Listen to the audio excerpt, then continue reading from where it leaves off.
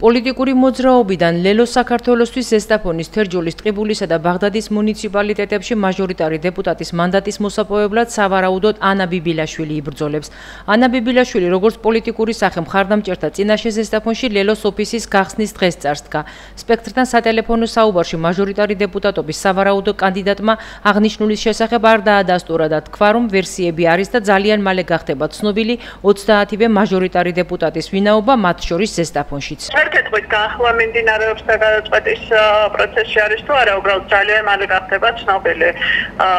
რა თქმა უნდა, შერჩეულია ადამიანები, რა თქმა უნდა, ვერსიები არსებობს ამ ადამიანებს შორის, რომ შეიძლება სხვადასხვა იყოს, მაგრამ ძალიან მალე გახდება საზოგადოებისთვის სრულად ცნობილი ყველა საარჩევნო. თქვენი კანდიდატურის განხილვა მიმდინარეობს თუ არა, ამას თუ დაგვიდასტურებთ, ანუ არ ყოფ.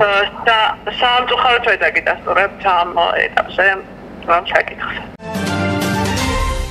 და ეს არის ყველამეთვის ესე იგი მოკლე კონკრეტულად მისი ზესტაფონის ბიბლიოთეკაში ახალი წიგნები შეიტანეს. ფონდი ძირითადად თანამედროვე ავტორების რჩეული ლიტერატურით შეივსო.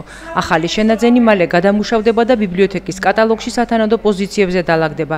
თუმცა ჯერ არ იციან, როდის შეძლებს მკითხველი ახალი წიგნებითა და არა მარტო მით სარგებლობას, რადგან ბიბლიოთეკებს ამ დრომდე ჯერჯერობით არა აქვთ ნებართვა და რეკომენდაციები საიმისოდ, რომ მკითხველებს სრულფასოვანი მომსახურება გაუწიონ.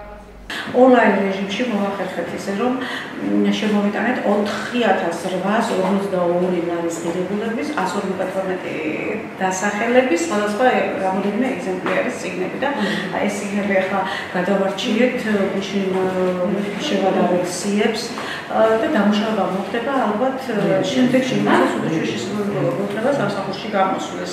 არის ძალიან საინტერესო ლიტერატურა, ძალიან ბევრი არის ახალ ახალი წერლები, ქართული წერლები, საბოლოოთის წერლები წიგნები არის ძალიან ბევრი ქართული ახალი წიგნები და ჩვენ შევეცადეთ კიდევ განსაკუთრებულად მიმოქცეთ ყურადღება ამ კითხულების მოთხოვნას და მოთხოვნების მიხედვით შემოვიტანეთ ის ყველაზე მეტად რომელ წიგნებსაც ეთხოვენ. ყველაზე მთავარი რაც არის კითხულებით და საზოგადოებაც ძალიან ემოდება ბიბლიოთეკების გასნას და ინერგიერო გამოსნებით და შეუდგებით ისე. ჯერ არ არის ინფორმაცია არ გაქვს არაფერი ინფორმაცია ჯერ არ არის ბიბლიოთეკებთან დაკავშირებით საჯარო ბიბლიოთეკაც მგონი არა ჯერჯერობით კითხულებს არ ემსახურება ბიბლიოთეკის ახალი ლიტერატურით გამდიდრება არის პასუხი ახალგაზრდა მკითხველების მოთხოვნილებაზე. ამბობს პოეტი გოჩა სხილაძე რომელსაც უშუალო შეხება აქვს ესტაფონელ ციგნის მოყვარულებთან.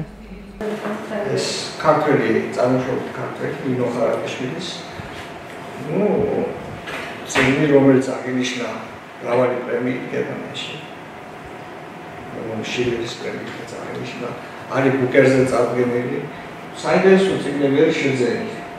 მეტყვი ვითვალისწინებით, რომ რა რა პროცესები მიდის, რა ჭირდება ახალგაზრდებს, რომ ეს ჩვენ ეს თქვა ესე ჩვენი მუნიციპალიტეტი, ჩვენი რაიონი არ არ გამოეთიშოს ამ რასაც კი განათლება, ამ სიახლეს და არ ჩამორჩა.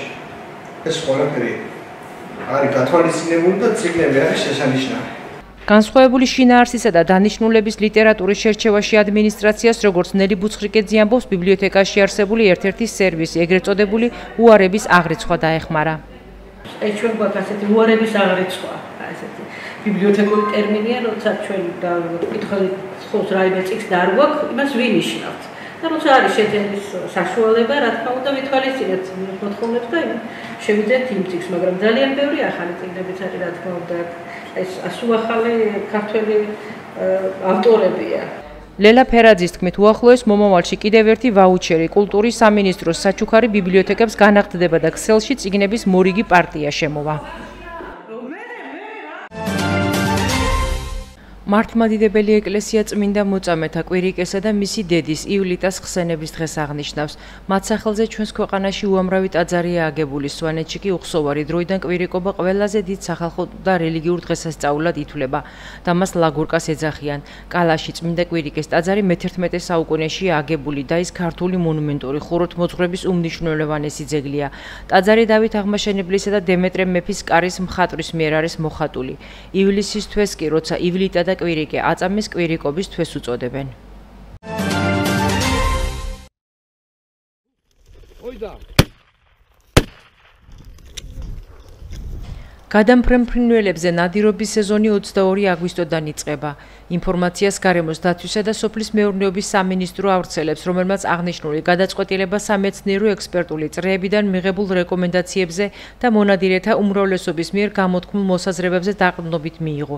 ნადირობის სეზონის აღნიშნულ დროს დაწყება გადამფრენი ფრინველების დაცვისა და აღწარმოების მიზნებს ემსახურება.